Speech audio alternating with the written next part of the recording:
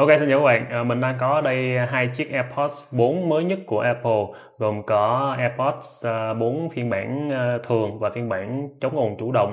Thì trong video clip này mình sẽ đánh giá rất là nhanh cái phiên bản AirPods 4 có khả năng chống ồn ANC. Uh, nó đang rất là hot tại vì đây là lần đầu tiên AirPods được trang bị tính năng chống ồn. À, ngoài ra mình sẽ so sánh giữa hai cái phiên bản này xem nó có khác biệt gì hay không cũng như mình sẽ so sánh một chút với uh, AirPods uh, Pro 2 một chiếc tai nghe mà mình rất là thích và mình dùng nó hàng ngày hàng ngày hàng ngày thì để xem chiếc AirPods 4 mà phiên bản chống mồm này nó uh, có xứng đáng hay không uh, với một cái số tiền cũng kha khá uh, tuy nhiên mình sẽ dự đoán là đây là một chiếc uh, tai nghe mà sẽ hot sắp tới của Apple Ok, mời các bạn cùng xem video clip ha. Thì đây là cái phần thiết kế của AirPods 4 năm nay. Uh, nó vẫn là cái kiểu hoàn thiện với một cái hộp rất là đẹp và rất là cứng cáp. Tuy nhiên cái phiên bản AirPods 4 Pro này cái hộp nó đã nhỏ hơn kha khá so với AirPods 3 cho nên với kích thước nhỏ gọn như thế này các bạn có thể bỏ vào túi quần. Cũng như là sáng hôm nay thì mình đã bỏ vào cái túi quần chạy bộ của mình à, để mang theo đi uh, tập. À, cái tai nghe này nó có khả năng uh, chống nước IP54 cho nên nó rất là an toàn khi mà mình bỏ vào cái túi đi chạy bộ đi tập luyện này nọ kia. Trên chiếc hộp tai nghe này nó có hai điểm cải tiến mới. Điểm thứ nhất á, là khi các bạn mở lên thì sẽ thấy cái đèn sáng lên à, tuy nhiên cái đèn này nó nằm ẩn ha chứ nó không có một cái nốt như cái phiên bản AirPods trước. Rồi cái điểm cải tiến thứ hai là cái phần phía sau lưng của sản phẩm này nó không còn cái nút bấm giống như các phiên bản iPod trước. Để các bạn muốn pair cái này với chiếc điện thoại thì các bạn sẽ bấm giữ đúng không? Bây giờ các bạn chỉ cần mở nó ra và gõ hai lần vào đây thì chiếc đèn nó sẽ phát ra tín hiệu là để tìm điện thoại. Đó đây là hai cái điểm cải tiến mà mình nghĩ là sắp tới Apple sẽ trang bị lên những cái phiên bản AirPods tiếp theo. Nhìn vào cái hộp thế này, không có nút bấm, nó rất là liền lạc, rất là đẹp. Phần hộp của cả hai chiếc AirPods 4 đều giống nhau, chỉ riêng cái phiên bản có chống ồn thì nó có cái phần loa ở đây còn phiên bản không chống ồn thì không có loa cái loa này là để khi mà à, chúng ta sử dụng cái tính năng Find My trên à, điện thoại iPhone á nó sẽ phát ra âm thanh để chúng ta nghe được cái tiếng và chúng ta tìm tới cái tai nghe này trừ cái điểm đó ra thì cả phần hộp lẫn cái phần tai nghe của cả hai phiên bản AirPods này là giống nhau hoàn toàn các bạn nha. Năm nay thì AirPods 4 sử dụng cái chip H2 cũng đang được trang bị trên cái dòng AirPods Pro 2 cho nên là sức mạnh của H2 sẽ được tận dụng để kết hợp với các micro trong cái tai nghe AirPods 4 này và tạo nên cái tính năng chống ồn chủ động mà đang rất là hot hiện nay. Và theo mình tìm hiểu á, cái khả năng tái tạo âm thanh của cái dòng AirPods 4 này ở các âm thanh mà có tần số trung á, thì nó sẽ tương đương với AirPods Pro.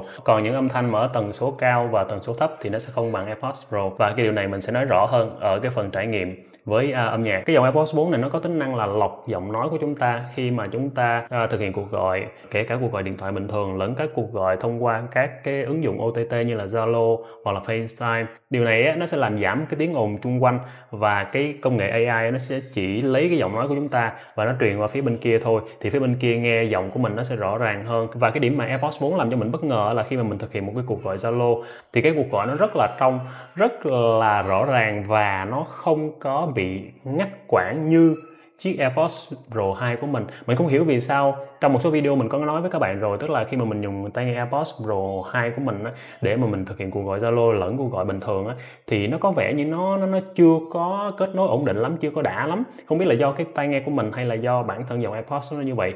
Nhưng cái chiếc tai nghe này nè nó được thiết kế như thế nào đấy mà mình thực hiện cuộc gọi nó rất là thích tại vì là bên kia nghe mình cũng rất là rõ ràng và mình nghe bên kia cũng rất là rõ ràng. Rồi nói về cái khả năng chống ồn á thì cái AirPods 4 phiên bản chống ồn nó có bốn cái tính năng giống như là cái dòng AirPods Pro. Âm thanh xuyên âm âm thanh thích ứng uh, chống ồn và có thể tắt cái tai nghe. Theo Apple thì cái AirPods 4 này nó sẽ chống ồn những cái âm thanh ở tần số thấp. Ví dụ như là tiếng ờ, ồn của động cơ xe, động cơ máy bay hoặc là cái hệ thống điều hòa không khí. Thì có một điều rất là mắc cười đó là ngay trên đầu của mình là cái máy lạnh nó đang thổi phà phà phà phà. Mà khi mình đeo cái tai nghe này vào và bật cái tính năng chống ồn lên thì tiếng quạt nó mất luôn. Rồi trong lúc mình đang ghi video với các bạn như thế này thì ờ, ở bên ngoài ờ, hôm nay là cuối tuần cho nên là các bé chạy tới chạy lui, chạy tới chạy lui. Thì cái tiếng ồn của cái xe của của các bé chạy ở ngoài chung cư á, nó bị mất luôn các bạn ha. Rồi tiếng các bạn các bé chạy chạy chạy, chạy đạp dép đạp dép này nọ kia thì cũng mất luôn. Nhưng cái tiếng của các bé thì vẫn còn. Cái là giống như là tiếng người sẽ được giữ lại còn những tiếng ồn nó thì mất đi. Rồi khi mà mình đeo chiếc tai nghe này đi chạy bộ ở ngoài đường á thì những cái âm thanh ví dụ tiếng động cơ xe máy nè rồi những cái tiếng ồn khác thì bị mất đi. Nhưng cái tiếng còi xe á vẫn còn. Hoặc là lâu lâu có tiếng xe cứu thương chạy ngang thì không có triệt tiêu được. Còn khi mà mình ngồi trong quán cà phê thì những tiếng len can len can ở quầy pha chế hoặc là tiếng kéo bàn kéo ghế nó cũng bị triệt tiêu. Còn cái tiếng ờ, người mà nói rì rào rì rào á, thì ờ, nó sẽ giảm bớt một chút xíu. Thực ra khi mà đeo tai nghe AirPods của Apple thì mình thích nhất cái tính năng là adaptive có nghĩa là âm thanh thích ứng. Thì nó là một cái tính năng ở giữa của chống ồn và xuyên âm. Nó không có chống ồn tuyệt đối làm cho chúng ta bị hơi khó chịu một chút xíu và nó cũng không có xuyên âm rõ ràng. Cho nên là nó sẽ tạo một sự thoải mái nhất định và chiếc AirPods Ờ, à, 4 này nó cũng có tính năng đấy mình rất là thích. Nó nó nó giúp hạn chế một phần nào đó các cái tiếng ồn khó chịu nhưng nó vẫn đưa vào uh, tai của chúng ta những cái tiếng ồn chung quanh để cho chúng ta thấy là chúng ta vẫn còn hiện diện với thế giới thế giới vẫn đang ở chung ta, quanh chúng ta. À, tuy nhiên khi mà mình cần phải tập trung ví dụ mình uh, edit video uh, những cái video thế này ở trong quán cà phê thì mình buộc phải uh, mở cái tăng chống ồn lên. Uh, và sẵn ở đây thì mình cũng nói luôn đó là mình rất là bất ngờ về cái tính năng gọi là âm thanh không gian của chiếc tai nghe này, thì cái tính năng âm thanh không gian nó sẽ kết hợp với cái ờ, ờ, nhận diện đầu của chúng ta để tạo ra một cái vùng âm thanh ở phía trước chúng ta. Tức là khi mà mình biên tập video bằng CapCut thì mình nghe cái giọng của mình nó giống như là nó nằm ở ở phía trước mặt. Và khi mà mình lắc cái đầu thế này, thì âm thanh nó vẫn nằm ở đây. Các bạn tưởng tượng là khi các bạn đeo tai nghe, các bạn quay như thế này, thì âm thanh có thể nó xoay theo các bạn. Tuy nhiên, cái trường hợp âm thanh không gian này á âm thanh nó nằm ở đây và các bạn xoay như thế này thì âm thanh nó vẫn nằm ở đây. Nó khiến cho mình rất là bất ngờ. Mình tưởng là mình đang nghe từ cái loa của cái laptop chứ không phải mình đang nghe từ tai nghe. Điều đó nó làm cho mình khá là thích. À, tuy nhiên mình cũng phải xem lại mở cái tai nghe ra xem ủa mình có đang nghe bằng cái tai nghe không? Thì đó là một cái tình huống rất là hay. Ngoài ra khi mà mình đeo tai nghe này mình đi đi đi đi á bình thường á cái tiếng giày của mình nghe nó bụp bụp bụp bụp và thậm chí nó dội vào cái tai của mình. Nhưng uh, trường hợp mà đeo AirPods 4 thì nó sẽ không bị như vậy. Tiếng giày đi nó mất luôn và cái cái cái sự dội của âm thanh vào tai nghe là không có. Rồi bây giờ chắc chắn là các bạn sẽ đặt câu hỏi là cái khả năng chống ồn của AirPods 4 và AirPods Pro 2 nó sẽ như thế nào? Thì đối với mình á, chiếc AirPods Pro 2 nó vẫn nằm ở một cái đỉnh cao hơn một chút xíu. Tại vì bản thân cái tai nghe AirPods Pro 2 ấy, nó đã chống ồn bị động nghĩa là cái thiết kế của nó nhét vào lỗ tai nó bịt kính lỗ tai của chúng ta nó nút bằng một cái nút cao su cho nên là bản thân nó đã chống một cái phần ồn rồi cộng với cái chip H2 và các micro chống ồn chủ động nữa thì nó tăng cái độ chống ồn lên. Nó khác nhau như thế nào? Nó khác nhau ở chỗ là khi các bạn đeo chiếc AirPods Pro 2 vào rồi á thì nó giống như là tách biệt hoàn toàn khỏi thế giới. Dĩ nhiên là mình bật tính năng chống ồn lên ha.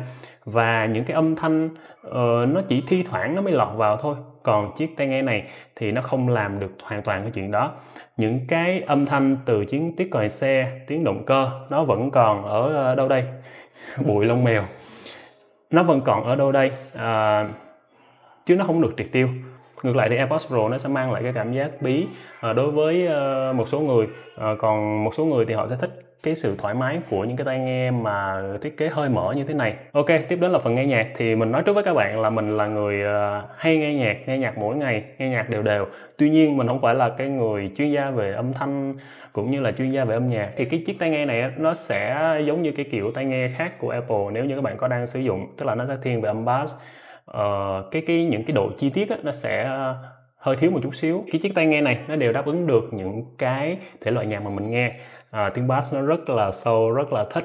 À, tiếng của ca sĩ thì cũng ok.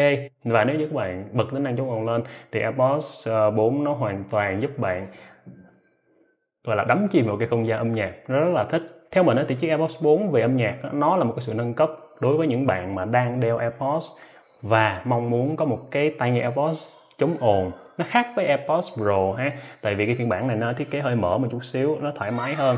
Và những cái người mà thích sự thoải mái đó có thể đeo cái sản phẩm này và lâu lâu muốn chống ồn, muốn nghe nhạc thì đây là một cái nâng cấp rất là tốt. Tuy nhiên khi mà so sánh với lại AirPods Pro 2 thì AirPods 4 nó vẫn thua một bậc. Ví dụ khi mà mình nghe nhạc của Andre Ryan ví dụ cái bài ờ, chơi như tụi Mỹ thì cái hai tai nghe bật tính năng chống ồn lên và nghe thì nó không có khác biệt gì cả. Nhưng khi mà mình mở nhạc rock lên đó một cái bản nhạc uh, để mình mở coi cái album của đây là cái bài mà mình hay nghe trong một cái playlist gọi là symphonic rock. Thì nếu như các bạn nghe bằng cái chiếc tai nghe này thì tiếng trống tiếng giọng ca sĩ vẫn rất là tốt. Cái trống nghe nó bùm bùm bùm và nó sâu và nó đã lắm tuy nhiên khi mà các bạn nghe tới cái phần tiếng của chiếc ờ, violin á, ờ, đàn vĩ cầm á thì tai nghe AirPods 4 này nó không bằng AirPods Pro 2 tại vì sao? Cái tiếng violin nghe từ chiếc tai nghe này á, nó nghe nó uh, mình không có phân biệt được nó là tiếng violin. Nó mình mình cảm giác nó hơi uh, hơi sượng sượng hơi không có thật lắm. Còn nếu như bạn nghe bằng tai nghe AirPods Pro 2 thì nó khác hoàn toàn. Bạn cảm nhận được đó là tiếng violin. Nó có cái sự khác biệt của những cái âm thanh trong tiếng violin đó. Còn trong cái chiếc tai nghe này khi mà mình nghe nó gần giống nhau và nó hơi không có thật thật lắm kiểu như vậy. À, hoặc là một cái bài như thế này của Tô Chấn Phong đó là bài khúc nhạc buồn. Thì khi mà các bạn nghe bình thường bằng chiếc tai nghe này chất lượng nó vẫn tốt các bạn ha. Tuy nhiên khi mà nghe bằng AirPods Pro á thì cái không gian âm nhạc nó rộng hơn. Mình cảm giác là cái giọng của ca sĩ nghe nó uh, nói là sao ta? Nó là khó diễn đạt ha nó tại vì nó vấn đề nó là hơi cá nhân một chút xíu tức là không gian nó rộng mở hơn. Nó không có bị hơi ờ, co cụm và hơi bí bí như so với chiếc tai nghe này. À, dĩ nhiên mình muốn nhấn mạnh là bản thân tai nghe này là à, nó đã đủ tốt đối với AirPods rồi hoặc là một bài rất là cũ của Metallica, đó là bài The Unforgiven. Thì nghe qua chiếc tai nghe này, cái tiếng trống, cái đoạn mà khúc đầu sau đó tới tiếng trống, bùm, nghe nó vẫn thích. Tuy nhiên cái không gian âm nhạc của chiếc tai nghe này nó vẫn hơi hẹp một chút xíu so với chiếc tai nghe AirPods Pro 2 của mình. Tóm lại về âm nhạc thì mình cảm thấy là những cái âm thanh ở tầm trung, ví dụ như là giọng của ca sĩ, thì chiếc AirPods 4 này nó khá là tương đồng với là AirPods Pro 2 tuy nhiên khi mà cần phải có những cái âm trầm rất là thấp hoặc là những cái âm rất là cao thì cái AirPods 4 này nó thể hiện nó vẫn chưa bằng AirPods Pro 2 một cái tính năng trên AirPods 4 cũng đã từng phát triển trên AirPods Pro 2 khi mà chúng ta nói chuyện thì tai nghe nó sẽ phát hiện và sẽ giảm âm lượng của nhạc chúng ta đang nghe để mà chúng ta dễ trao đổi với người đối diện. Thì mình cảm giác cái chiếc tai nghe AirPods 4 này, nó nhận cái giọng nói nhanh hơn so với AirPods Pro 2 khi mà mình nói lên thì cái này nó bắt đầu lập tức nó giảm xuống. Và mình ngưng nói thì bắt đầu nó sẽ từ từ nó tăng cái nhạc lên. Có thể rất là nhiều bạn thích tính năng này. Tuy nhiên đối với mình á, thì chắc là mình phải tắt tính năng đó thôi. Tại vì có một lần khi mà mình hát theo bài nhạc, cái tự nhiên nhạc nó cũng tắt luôn, nó cũng giảm xuống luôn. Tức là nó tưởng là mình đang nói chuyện với ai đó, trong khi thực ra mình đang hát thôi đấy, kiểu như vậy. Cái phần điều khiển của AirPods 4 cũng khá là thông minh, đó là chúng ta có thể dùng lực bóp để ờ, điều khiển bóp một lần bóp hai lần để ờ, nghe nhận cuộc gọi để tắt nhạc các kiểu. Ờ, nó sẽ không có được cái tính năng là vuốt để mà điều khiển âm lượng như trên AirPods Pro 2 thì đây cũng là một cái điểm để mà người ta sẽ mua AirPods Pro 2 à, về phần pin thì mình cũng mới sử dụng được có một hai ngày thôi cho nên là chưa có đánh giá được. Tuy nhiên theo hãng sản xuất thì chiếc tai nghe này kèm với hộp sẽ được tổng thời gian sử dụng là 30 giờ. Và nếu như chúng ta gấp thì sạc khoảng 5 phút đã có được một giờ nghe nhạc. Và các bạn để ý là cái dòng AirPods ANC này thì thì có thể dùng nó để mà sạc không dây chung với đồng hồ Apple Watch cũng như là các cái đế sạc mà có sử dụng ờ, chung với Apple Watch. Còn cái dây phiên bản thường này thì không có sạc chung được. Tuy nhiên thì cả hai sẽ sạc được bằng cổng ờ, USB-C Tóm lại thì hai chiếc này nó có những điểm chung nào? Thứ nhất là âm thanh không gian và thứ hai là sử dụng chip ờ, uh, H2 cho nên là về cơ bản âm thanh của chúng uh, tương đồng với nhau.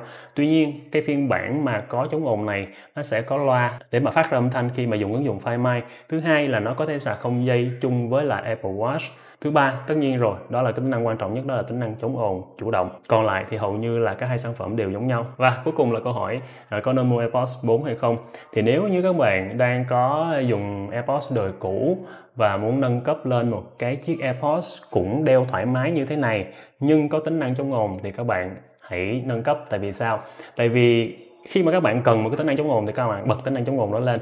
À, nếu các bạn thấy khó chịu quá thì các bạn nên chuyển qua chế độ gọi là adaptive có nghĩa là thích ứng. Đó là tính năng mà mình dùng hàng ngày. Còn đối với phiên bản AirPods 4 á, thì mình thấy cái phần âm thanh nó cũng có nâng lên một chút xíu. Tuy nhiên các bạn đang sử dụng AirPods 3 thì chắc là không có lý do để mà nâng cấp lên. Còn các phiên bản AirPods trước á, thì có thể nên nâng cấp.